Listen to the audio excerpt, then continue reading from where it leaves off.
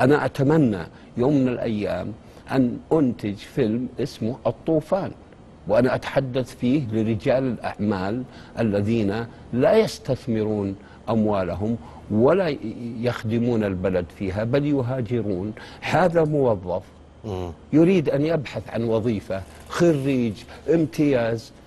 هل الدولة ستوظف كل الناس؟ لابد أن أتحدث عن هذه المشكلة. رجال الأعمال يجب أن يشاركوا. كيف أعالج هذه القضية؟ أنا لا أريد أن أكتب مزنة تحب صويلح.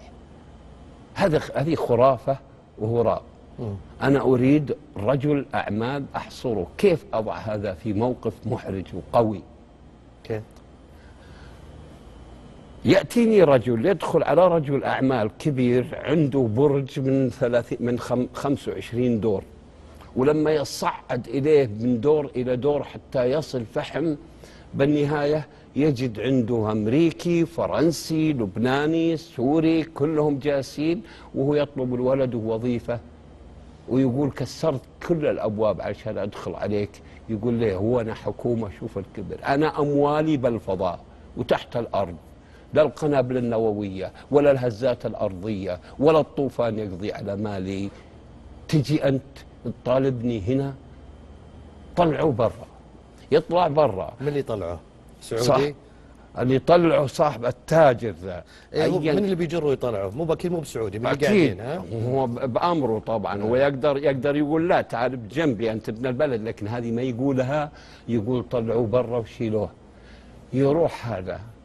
يجلس بعد كم يوم تشوف مياه تخرج حول الرياض. أعطني هذا الافكتس الناس يحسبونها من فايض البيوت. لكن بعدين قالوا لا هذا من فايض يمكن المجاري. بعدين وجدوا أن المياه نقية وبدأت تكبر تتغطى حتى. الرياض كلها يغمرها طوفان. وشوف هذا العام. ثم بعد ذلك هذا حينما أراد أن يخرج من برجه ليخرج من الرياض يريد أن يخرج من البلد وهذا رمز لمن أحيانا يتحدث وإذا جاءت المصائب هرب.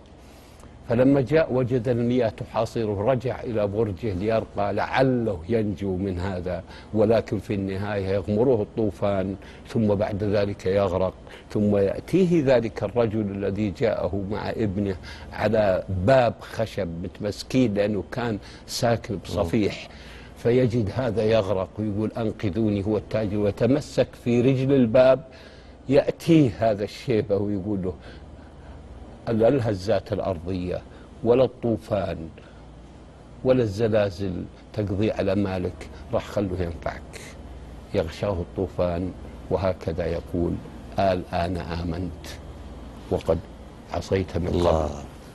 ونزل تتر ونقول the end ونهاية هذا الفيلم. السينما هذا هذه الفكرة وليت اللحظة الحين طلعت بهذا الشكل. هذه هذه هذه استطيع اكتب مثل هالنص.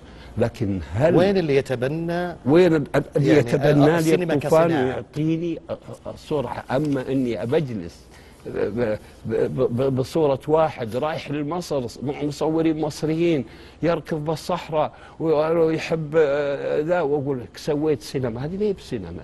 طيب إحنا بنكمل الحديث معك. الحديث معك ذو شجون استاذنك واستاذ المشاهدين بهذا الفاصل.